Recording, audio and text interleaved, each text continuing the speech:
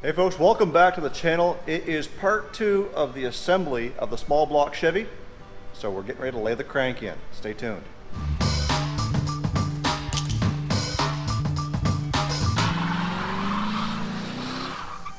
So where we're at right now is I made sure that we had all the proper main cap bolts because I was missing a few. So I went digging through our little bucket of goodies and found the ones that we needed. And we've got all the journals all cleaned up and ready to start putting bearings in. So that's kind of what we're going to start with now is putting the upper bearings in. And when you get them out of the box, you'll note that they are stamped upper and lower. So anything attached to the block is going to be considered your uppers and your lower is on the main caps themselves. On this engine we're using the Clevite bearings and the part number for those is MS-909P-20. So I'm going to set the camera up and then we're going to start laying in our bearings.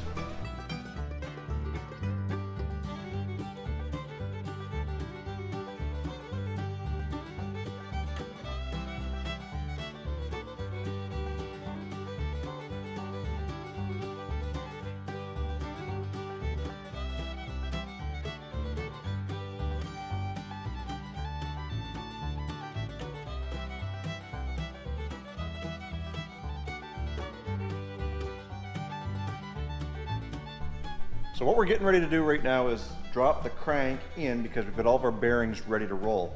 And we're going to be checking the clearances. And if you guys don't know what Plastigage is, it basically comes in a long strip and it's just wax is all it is. And there it is right there on the bearing. So when when we go and we lay the crank in dry, which is the way I'm going to do it, uh, we're going to put the caps on, we're going to torque them down to spec, and then we take them back off, lift the crank out, and then we measure how much that wax has spread.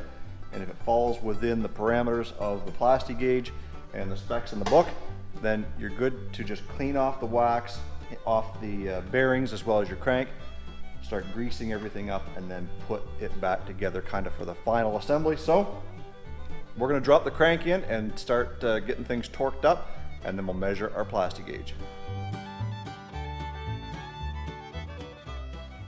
One thing you don't want to do is you don't want to spin it with that wax in there. You just want to set it in, put the caps on.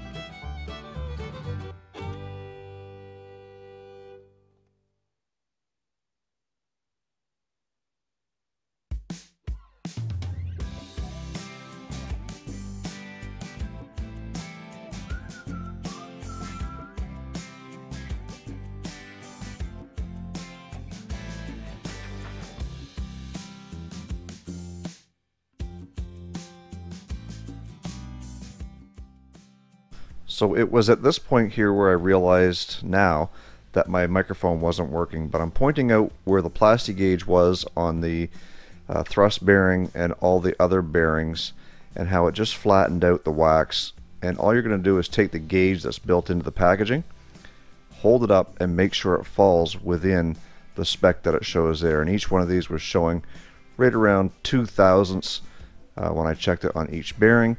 So we were able to proceed forward and start getting things lubed up until we ran into a small problem.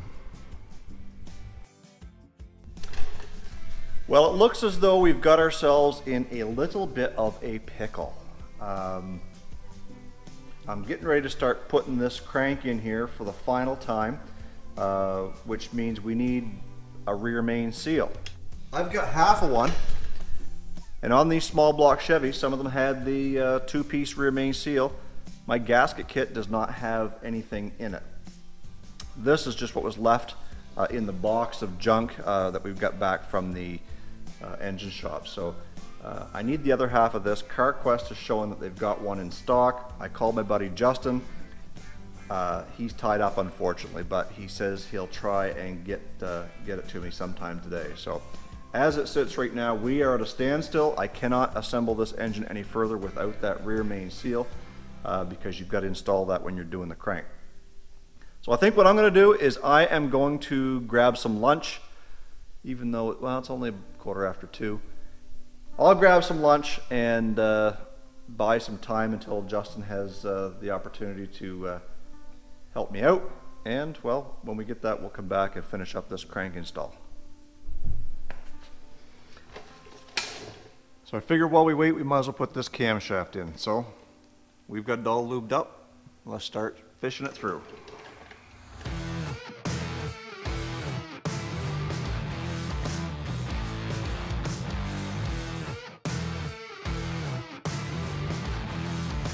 Okay guys, Justin has come through. He just delivered, yes, he even delivered it to me. The two-piece rear main seal, we've got it installed in the back of the engine. Just like so. We're gonna drop the crank in. Uh, we've got all the uh, bearings all lubed up. We're gonna drop the crank in, get the caps put on, get them retorqued, and we're gonna call it a video. So, let's do her up.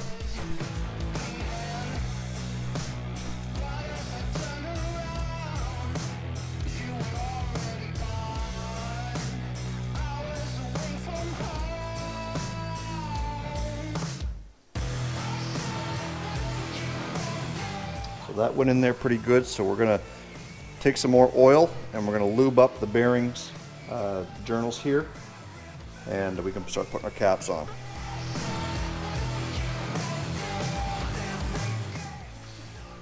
The other thing to remember too is when you're putting these bolts in, uh, we've got to make sure they're lubed up with oil. That'll help with the torque spec uh, for more accurate torque.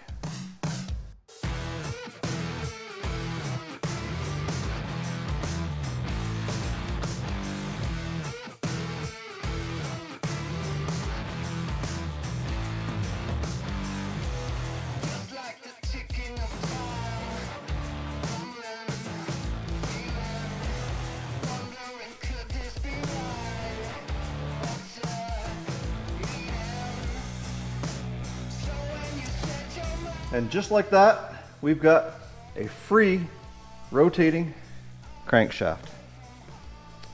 That makes me happy. So now that we've gotten this far, the battery is about to die on the old GoPro. So tune in next time and we're gonna get the rest of the rotating assembly complete, which is your pistons, and then we can start closing up the bottom end.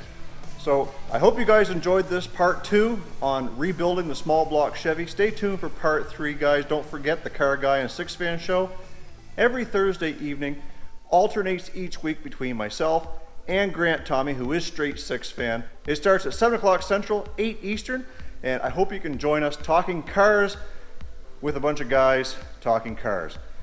So stay focused on the windshield, not the rearview mirror. I love you guys. God bless. We'll see you again the next one.